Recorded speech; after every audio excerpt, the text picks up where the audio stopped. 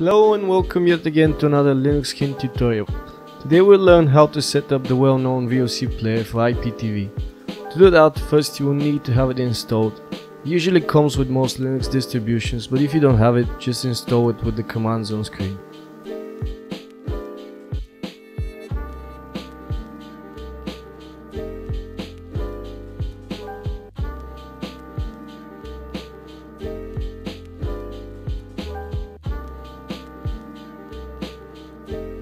Next up we'll have to go to tools and then preferences to tweak some settings.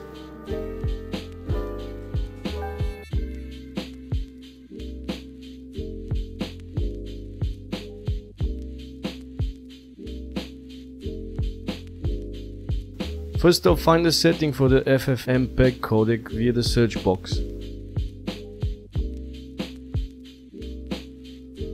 After that, scroll down and disable hardware acceleration.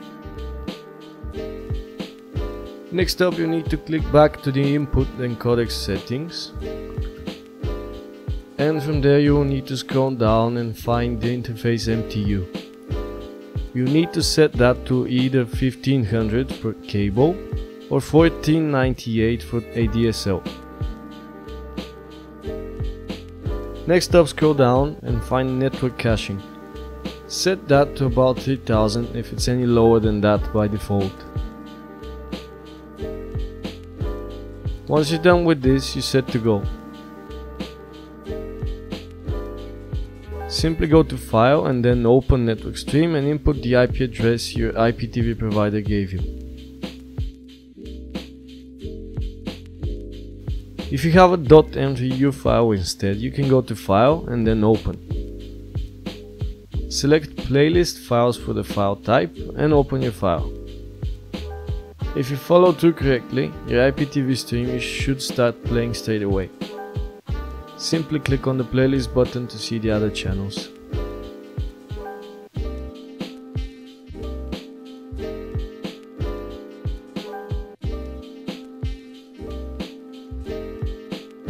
Thank you for watching and see you next time.